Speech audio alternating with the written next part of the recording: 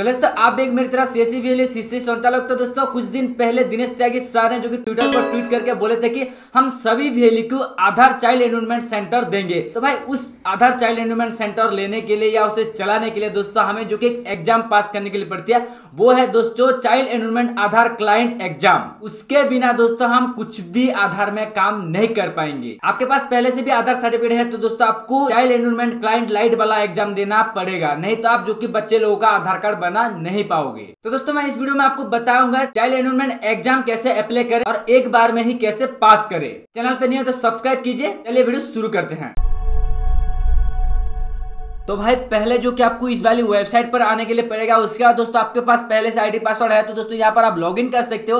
और आपके पास नहीं है तो दोस्तों, आपको यहाँ पर क्रिएट न्यू यूज़र पर आपको जो कि क्लिक कर लेना है। जैसे आप क्लिक करते हैं तो दोस्तों हमें जो कि एक अपलोड एक्सएमएल फ़ाइल का जो कि हमें पूछा जाता है तो दोस्तों हमें ये आधार सेक्शन में जाना है। मैंने नीचे डिस्क्रिप्शन पर देख चुका हूँ। वहाँ पर जाके दोस्तों आपको आधार पेपरलेस ऑफलाइन क्यूआईसी वाला सेक्शन पर आपको जो कि क्लिक कर लेना है। तो भाई उसे डाउनलोड करने के लिए पहले आपको जो की वेबसाइट पर आपको लॉग करना पड़ेगा। आधार नंबर कैप्चा देके ओटीपी फिल करके दोस्तों जो की आप लॉग पर क्लिक कर लेना। उसके बाद कुछ इस टाइप का डैशबोर्ड खोलेगा। वहाँ पर होगा दोस्तों एक ऑफलाइन ई केवाईसी उस वाला फॉर्म को आपको जो कि डाउनलोड कर लेना है। जैसे वहाँ पर आप क्लिक करते हैं तो दोस्तों यहाँ पर आपको क्रिएट ए शेयर कोड मतलब ये इंपॉर्टेंट कोड है दोस्तों। आपको मन के हिसाब से जो भी आप वन टू थ्री जैसे डबल वन डबल टू ऐसे देना, वहाँ पर देना है दोस्तों। और और आपको वो शेयर कोड आपको याद रखना है। जैसे वहाँ पर आपको दोस्तों वन वन टू टू देते हैं या जो भी देते हैं दोस्तों, और जो कि शेयर कोड को डाउनलोड करते हैं तो दोस्तों आपका शेयर कोड एक डाउनलोड हो जाता है। उसे दोस्तों आपको फ़ाइल पे सेव कर लेना है। उसके बाद दोस्तों फिर से हमें वही वाली साइट पर हमें जाना है। दोस्तों, वो फ़ाइल जो डाउनलोड किया है, वो फ़ाइल को यहाँ से आपको जो कि अपलोड कर लेना है, उसका जो शेयर कोड है दोस्तों, यहाँ पर आपको देके दोस्तों एक्सट्रैक्ट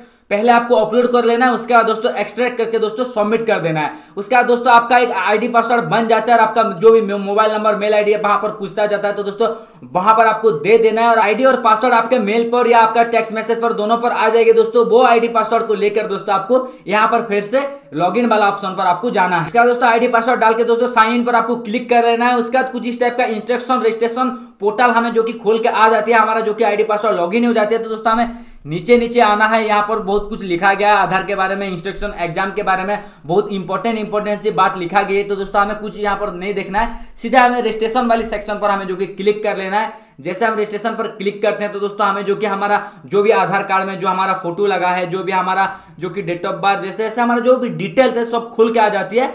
उसके बाद दोस्तों यहाँ पर एजुकेशनल आपका एजुकेशनल क्या है? प्लस टू है टेंथ है, या आईटीआई हो टू ईयर का जो कि वक्सनाल हो, जो भी ग्रेजुएट हो, सब कुछ यहाँ पर टेंथ भी हो तो दोस्तों आपको यहाँ पर चल जाएगा, आपको सिलेक्ट करना है। यहाँ पर देख सकते हो एजुकेशनल डिटेल पर। उसके बाद दोस्तों आपको जो कि लेवल ऑफ़ एग्ज़ाम तो दोस्तों यहाँ पर हमें पूछा जाता है, आप जो कि ऑपरेटर चाइल्ड एनरोलमेंट जो कि क्लाइंट के लिए आप जो कि एग्ज़ाम देना चाहते हो या दोस्तों आप जो कि ऑपरेटर कॉम सुपरवाइजर के लिए आप एग्ज़ाम देना चाहते हो? तो दोस्तों आपको यहाँ पर ऑपरेटर चाइल्ड एनरोलमेंट क्लाइंट वाला जो कि आपको सेक्शन पर क्लिक कर लेना है, ध्यान रहे। उसके बाद दोस्तों आपको जो कि आपका लैंग्वेज क्या है, आप कौन सी लैंग्वेज में आप जो कि ये एग्ज़ाम देना चाहते हो? तो दोस्तों आप जो भी लैंग्वेज सिलेक्ट करोगे, उसके बाद दोस्तों आपको दो, जो कि दो लैंग्वेज शो होती है। एक तो हो गया इंग्लिश और जो आपने चूज़ किया गया था, वो वाला लैंग्वेज शो होती है। तो आपके पास आपका जो भी लैंग्वेज आप चूज़ कर लेना है उसके बाद दोस्तों यहाँ पर आती है जो कि select your enrolment agency code तो दोस्तों आपको जो कि यहाँ पर इक्कीस सौ C S C S P भी आपको जो कि यहाँ पर फाइंड करना है और वही वाला आपको जो कि सिलेक्ट करना है। उसके बाद दोस्तों आ जाती है आपका आधार नंबर, पहले से सिलेक्ट होगा।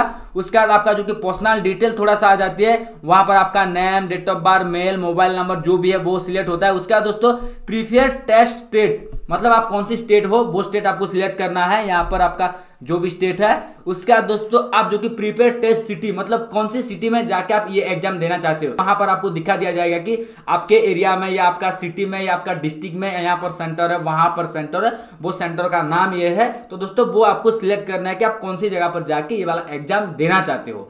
वो सिलेक्ट करने के बाद दोस्तों, जो कि प्रीपेड टेस्ट सेंटर नेम वहाँ पर सिलेक्ट करने के लिए पड़ती है, जो कि उस सिटी में कितना सेंटर है और कौन सा नेम पर आप जो कि जाके एग्ज़ाम देना चाहते हो, वो भी आपको यहाँ पर सिलेक्ट करने के लिए पड़ेगा, जो कि मैंने पहले से सिलेक्ट करके रखा हूँ। उसके बाद दोस्तों हमें नीचे नीचे आना है और सेवन कंटिन्यू वाला एक सेक्शन मिलती है हमें, वहाँ पर हमें क्लिक कर लेना है। तो दोस्तों हमारा जो कि एप्लीकेशन फॉर्म कुछ इस तरह का रिव्यू में हमें दिखा दिया जाता है, हम कुछ भी एडिट करना चाहते हैं, कुछ भी चेंज करना चाहते हैं तो दोस्तों वहाँ पर हम चेंज कर सकते हैं और आगे हम बढ़ गए थे दोस्तों बाद में चेंज नहीं कर पाएँगे। तो आपको अच्छी से रीड कर लेना है, देख लेना है कि सब कुछ सही है या गलत है।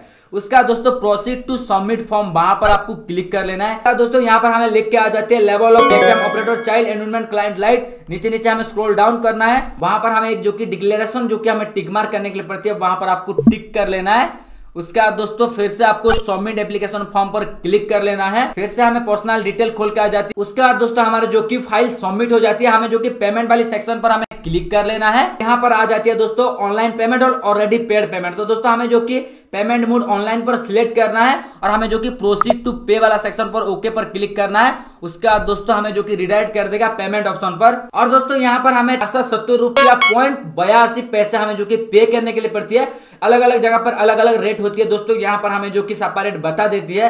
कहाँ पर 10 20 अधिक तो कहाँ पर 10 20 कम होती है। वो आपके सेंटर के पास से। दोस्तों यहाँ पर आपको जो कि सीधी सी बात है, आपको पे कर लेना है। जैसे ही दोस्तों हम पेमेंट कंप्लीट करते हैं, दोस्तों हमारा जो कि यहाँ पर डैशबोर्ड पर सक्सेसफुल ईयर पास हो चुका है, आपका पेमेंट हो चुका है, उसका दोस्तों बुक सीट वाला हमें जो कि एक ऑप्शन मिलती है, वहाँ पर हमें क्लिक कर लेना है। उसके बाद दोस्तों हमारा जो भी जिस टाइम में हमें जाना है एग्ज़ाम देने, वो टाइम हमें सिलेक्ट करना है, कौन सी डेट में हम जा पाएँगे, उस डेट हमें जो कि सिलेक्ट करना है। तो दोस्तों यहाँ पर हमें सीधी सी आ जाना है और यहाँ पर हमें जो कि ऑप्शन मिल जाती है सिलेक्ट टेस्ट डेट क्या दोस्तों आपको सबमिट कर लेना सबमिट करने के बाद दोस्तों जो कि आपका मेल आईडी पर एक एडमिट कार्ड चला आएगा और टाइम डेट वहाँ पर चला आएगा दोस्तों।